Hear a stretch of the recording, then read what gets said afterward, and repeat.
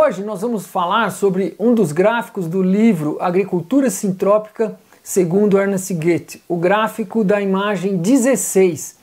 E é um gráfico que foi produzido por Ernest com o intuito de mostrar a dinâmica da sucessão natural como uma ferramenta para nossos agroecossistemas, né?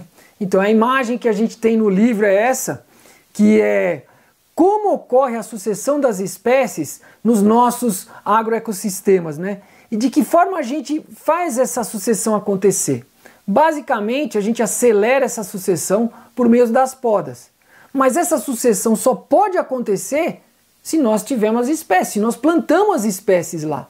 Então, no dia zero, é fundamental a gente plantar tudo que cresce naquele lugar, as espécies do futuro, então vocês podem ver na imagem aqui, ó, nós temos aqui, ó, esse pontinho azul é a imagem, é a planta do futuro, as espécies, as árvores cultivadas, as madeiras de lei, as madeiras nobres que têm um crescimento lento. Então essa imagem, é, nós temos aqui a imagem original, né, que Ernest fez, é, foi baseado nesse desenho aí, tudo que está escrito aí nós transferimos para aquela imagem do livro, né? E vocês podem perceber que Ernest faz muito pequeno aqui no início, ó. Por quê? Que, e de repente esse círculo fica bem maior. Ou seja, somente depois de alguns anos é que a gente vê despontar as árvores cultivadas, as, as árvores de madeiras nobres, as frutas, porque aquelas espécies anteriores, aquela sucessão foi sendo, foi gestando, foi criando as árvores dos sistemas de abundância, as árvores do futuro. Por isso que a gente vê despontar somente aqui. Então ela está muito pequena aqui, né? Então a gente volta aqui para a imagem original do livro e o que está anotado aqui lá no livro, pessoal, é as plantações que Ernest que é baseado nas plantações dele. Então, quando ele diz aqui, ó, funcionamento das minhas atuais plantações de cacau em solos que ainda não alcançaram o patamar pleno de abundância.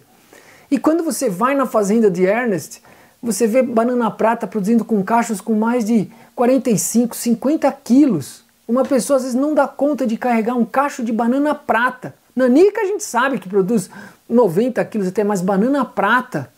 Cachos enormes. E Ernest acha que ainda não está o patamar pleno de fertilidade daqueles solos, né?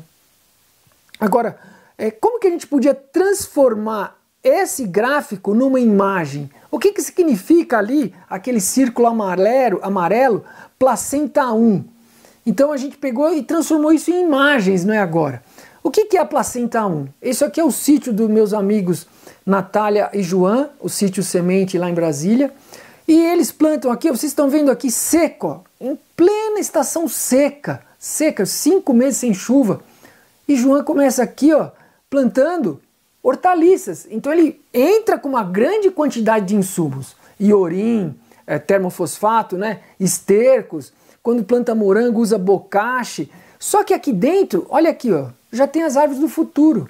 Tá plantado, então aqui a linha das bananas, estamos vendo uma banana aqui, aqui tem outra linha, não dá para ver, mas tá plantada as árvores, então aqui tá plantada as árvores aqui, aqui um eucalipto, e junto com beterraba, aqui as hortaliças. Então aqui nós plantamos tudo no dia zero. A placenta 1 são as plantas que vivem até seis meses, de ciclo rápido. Todas essas hortaliças que a gente está vendo aqui, ó, é placenta 1. Placenta 2 está crescendo aí dentro, que são que é a mandioca, batata baroa, inhame, gengibre. Depois de seis meses que a gente vai colher. Então, a gente colhe a placenta 1, em seguida vem a placenta 2. Então aquelas bananas cresceram, que estavam pequenas ali, nós colhemos as hortaliças até seis meses, e depois quem desponta? Está aqui no meio, a mandioca. Então essa é a casca aqui, significa o quê? O que a gente vê, o círculo externo, é o que, nós, o que salta aos olhos.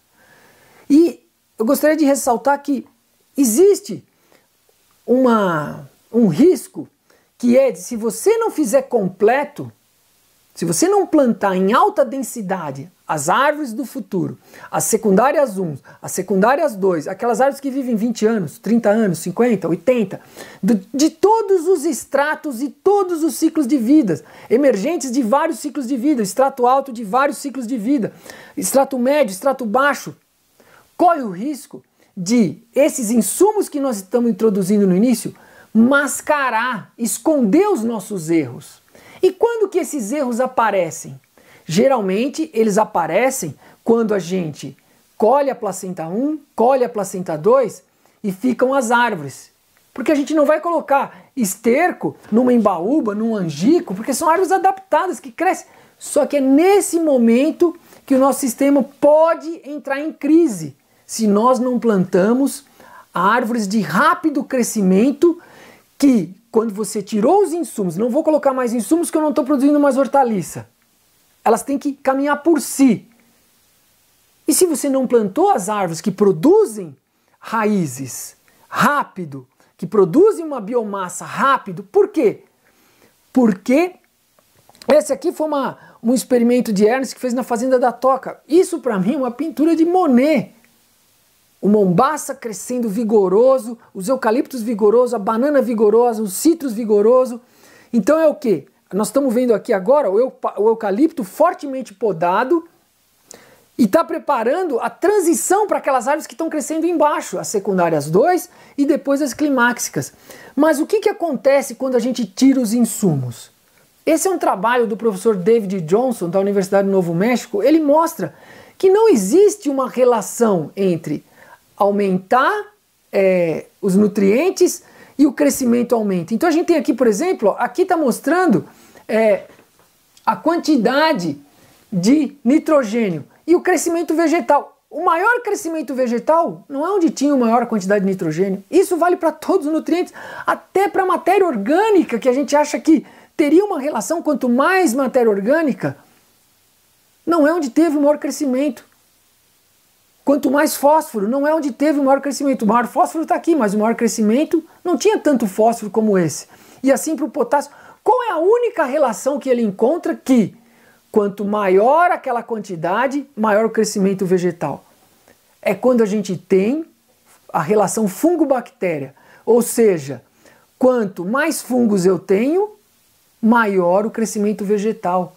Então, se a gente não focar para isso, nesse sistema aqui, se a gente não preparar o ambiente para ter fungos, para ter uma microvida pujante no sistema, e como que a gente prepara o ambiente para isso? Nós temos que ter raízes de plantas e tem que ter produção de lignina. Tem que ter árvores de rápido crescimento. Tem que ter poda se você não plantou em alta densidade, quem você vai podar? Então é fundamental a gente atentar para isso, porque quando você desmama o seu sistema do, do, dos estercos, você tem que ter raízes e árvores crescendo ali. Se eu comecei com hortaliças, né? E eu não estou dizendo que não é para usar esterco, nós devemos usar, mas os, os estercos esses insumos, eles entram mais como um catalisador das reações, como um óleo essencial. O que é um óleo essencial? Aquilo que a gente usa muito pouco, porque ele tem uma energia muito concentrada nele ali. A gente usou toneladas de plantas para extrair gotas, extrair alguns ml ali, em quilos e quilos de planta, alguns ml do óleo essencial concentrado. O esterco é isso, ele está concentrado. E outra, a gente não pode pensar em equilíbrio de nutrientes, porque é isso é uma loucura a gente tentar equilibrar os nutrientes. Não. A gente tem que buscar estabelecer a microvida e ela, digerindo a matéria orgânica, ela libera pequenas quantidades, mas a cada segundo libera. E a gente não vai ter um problema de ficar preocupado com o equilíbrio de nutrientes se a gente focar nisso, na relação fungo-bactéria, porque as florestas têm muitos fungos. Então, quando a gente está caminhando para os sistemas de abundância, significa que a gente está aumentando essa relação fungo-bactérias. Então, é isso que nós temos que focar e, e, e não perder esse foco nesse caminho. Então, quando a gente iniciou o dia zero lá, nós plantamos lá dentro a nossa, a nossa alface, o nosso capim, mas está tá a nossa castanheira, o nosso jatobá, a laranja, tudo. E o que a gente vê nos sistemas aqui que nós trocamos o capim, não por mombaça, mas por um capim andropógon, que cresce no, em lugares que era braquiarinha, que era fraco o, o, solo naquele momento, e nós aplicamos azospirilo com pseudomonas no início, o andropógon cresceu bem, ele produziu muita biomassa que nós roçamos acumulamos na linha. Então, foi nesses lugares que foi melhor. Aqui, por exemplo, nessa imagem, foi um lugar que a gente começou com hortaliça. Então, é um só. Esse sistema aqui tem três anos e pouco. As laranjas começaram a produzir, mas nós tivemos muitos problemas de pulgão nesse lugar. Então, na hora que eu dou uma aproximação aqui na imagem, você vai ver muitas folhas encarquilhadas. Então, por quê? Nós colocamos muito nutrientes no início. Então, esse, essa energia é, provoca um desequilíbrio na planta. E aí a gente vê é, essa marcação, essa, esse desequilíbrio nas laranjeiras, né? Cresceram bem, estão produzindo, mas se vocês verem um outro sistema que é esse aqui, que nós começamos com quase zero de insumos externos. Foi 4 metros cúbicos de esterco de curral. Olha esse limão. Olha, tá, tá, despontando. São quatro anos e meio, não começou a produzir, mas eles estão com um vigor muito maior. Nunca deu problema de pulgão, porque nós trocamos o capim, acumulamos o capim, podamos o, o, o eucalipto, plantamos árvores entre os eucaliptos que estão crescendo aí, então tem. É, plantamos margaridão também, os abacateiros, as mangas, as pitangas.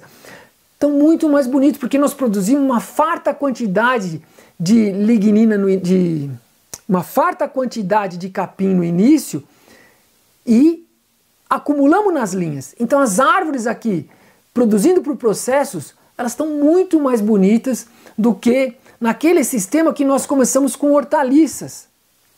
Então a gente podemos usar estercos, mas nós temos que estabelecer plantas que cresçam rápido e vão produzir muita biomassa.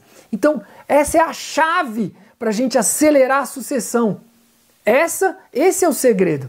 Então quando a gente sai das secundárias 1 que criaram a, o próximo passo na sucessão, as secundárias 2, a gente tem aí um, uma, fo uma, uma, foto, é uma imagem do filme Life in Synthropy, é, que Ernest diz que está na porta dos sistemas de abundância. Então a gente vê algumas é, emergentes despontando aqui, né? Ó, isso aqui é uma castanheira, aqui provavelmente uma outra, uma leguminosa, emergentes.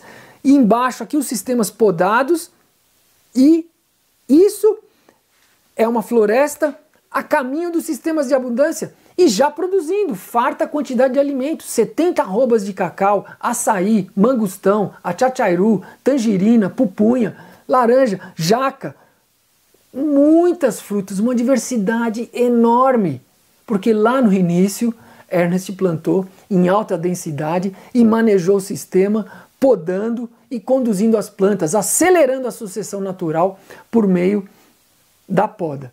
E a gente chega aqui no último círculo, né? Clímax. Isso aqui é uma floresta primária, que é para onde nós estamos levando os nossos sistemas, para ser uma floresta de abundância. Eu estou aí na frente de uma samaúma. Isso aqui é madeira, ó, raízes tabulares, que quase com um metro de diâmetro, essas raízes tabulares.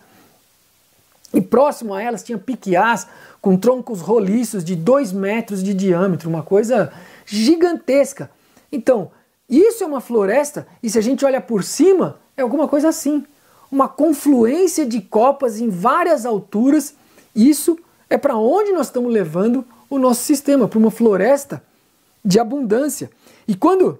E, e, e não é estático isso, porque existe a sucessão dentro dos sistemas de abundância, que vai ser o nosso próximo filme, mostrar aquele gráfico, um dos gráficos mais antigos que Ernst, na década de 90, ele já desenhava, que é dos sistemas de colonização para os sistemas de abundância vai ser o nosso próximo filme explicando os gráficos do livro Agricultura Sintrópica.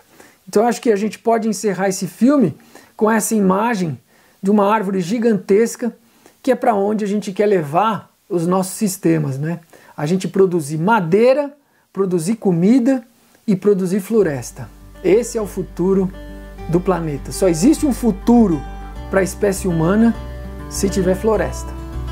Até o próximo.